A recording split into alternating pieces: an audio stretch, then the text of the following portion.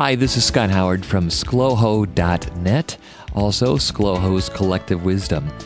Today we're talking to Jim Calhoun. Jim is the Chief Executive Officer of a company called Popular Media. Popular Media was founded back in 2003 in San Francisco, California. And Jim, like myself, is originally from Indiana. We'll be talking to Jim about one of the products that they've introduced this month and what this product does as we take a look at how marketers can use social media effectively and actually gain a return on their investment. We've included some slides for you to take a look at as we talk about some of the things that are going on with social media and how it relates to marketing in general and marketing overall. Popular Media is launching a new way for marketers and advertisers to reach consumers. Jim, tell me about Popular Media. Popular Media uh, is a company that we started in really late 2005, and it goes back quite a ways in the, the social media space. And it started with this uh, notion that uh, you could make viral marketing work, and that was the, the term we used back then, by testing.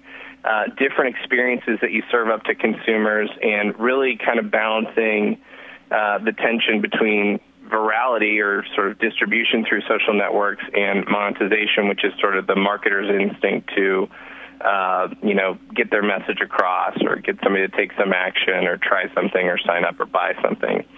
And so that was kind of the um, the core philosophy under it was uh, manipulating sort of virality versus monetization and creating different web experiences that uh, were really fun for people to share and fun to receive, and then that would propagate through social networks. Why is that important? Well, I think uh, number one, I th- we were very uh, early on in the uh, sort of social um, growth of the web, and it, it just was clear to a bunch of us who sort of survived the uh, downturn of the the dot com bust that this was there was something really uh, profound happening where people we're really turning to the web. Less as a source of information, or you know, they certainly use it as a, a place to go buy things, but it really became clear that this was all about creating connections and connecting with other people and uh, it, it, sort of provided started providing this kind of endless stream of very personalized um, entertainment because it was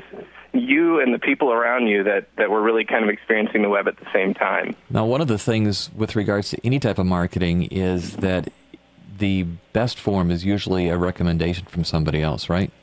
That's right. Yeah, and and I think that's what part of the reason that. Um, you're seeing such explosive growth in, in social networks and uh, social networking sites. And um, they certainly provide a lot of uh, fun and entertaining features and functions for people. But, you know, if, if somebody invites you into some process, um, you can even take it back uh, a, a step, and um, you know the the very notion of an invitation is a really powerful concept. If if you choose to reject that invitation to join somebody somewhere online, um, that says something by not even responding to it.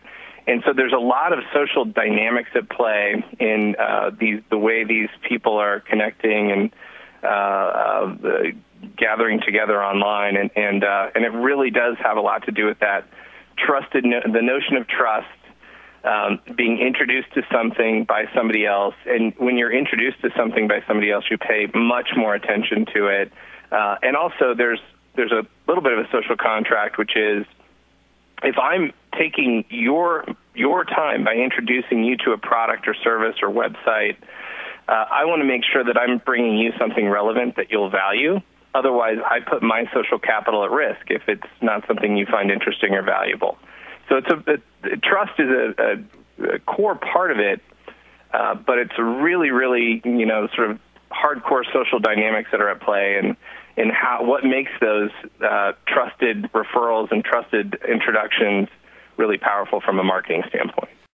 Well, one of the things that I've noticed over time is that the internet and those involved with it, the people involved have had a difficult time figuring out a way to actually make money with it. There's been a lot of investment capital being put into it, but when it comes down to a company doing some advertising, even though we see that more and more money is going into it, the there's also ways to measure that, and the measurements that have come back, the the return on investment hasn't been there because people are able to tune out, so to speak, or ignore a lot of the ads and not click on things.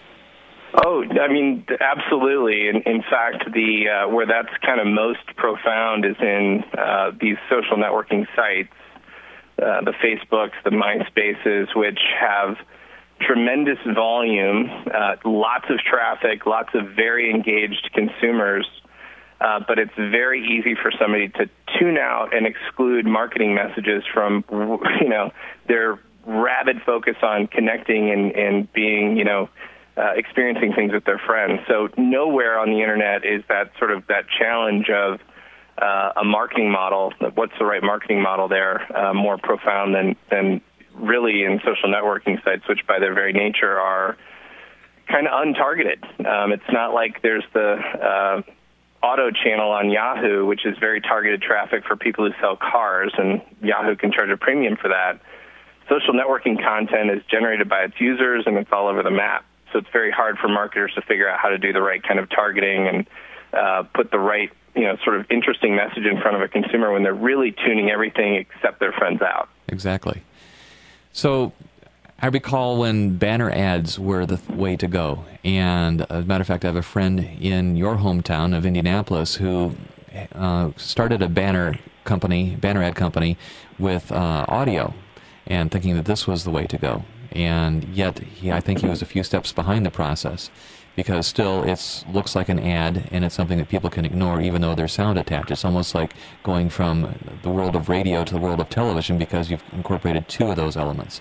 Right. But you've got some ideas on how to add uh, this word of mouth type of marketing into the internet advertising, which is something that has not really been done very successfully in a way that the advertisers can control in the past. Yeah, it's um, it's true. There's there's certainly been successes of things that were you know viral videos that went hit a lot of people, and and uh, those tend to be kind of hit or miss. But really, I think it's it's become time to to rethink the banner. Um, the the banner of which you speak is uh, entering its 15th year. It's it's sort of hopefully coming out of its awkward adolescence. It's uh, you know for a lot of people it's a it's a, a powerful vehicle. You you buy a banner, you sort of buy the audience that you want to put it in front of, and from a branding perspective, it tends to reinforce things during the you know consideration stage of marketing or whatever it might be. So the banner itself, there's a, a huge infrastructure uh, out there where banners, you know, they they do kind of work. Um, now, how effective they are is another story.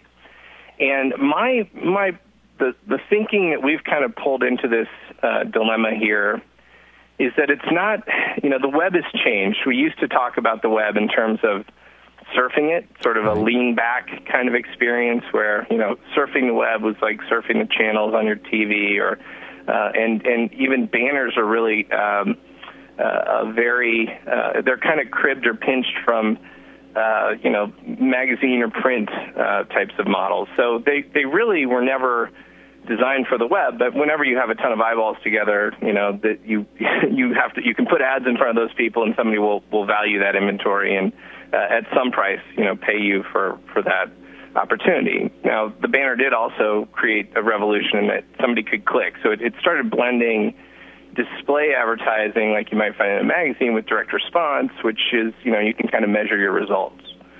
So that, you know, the the infrastructure exists. It's just, you know, our feeling is that the format is not really designed the way people use the internet. And so when you start rethinking what you can deliver through a banner, and you say, okay, well, let's make it interesting and fun for people to engage their friends in something and perhaps that experience starts in a banner, and maybe my brand is a part of that. And yes, I want to measure my results, but how is it that I can take what I do as a brand and bring something social to it and create stronger connections between a person and their social network, stronger connections between me and the people I know that happen to, you know, there happens to be a brand message included in that.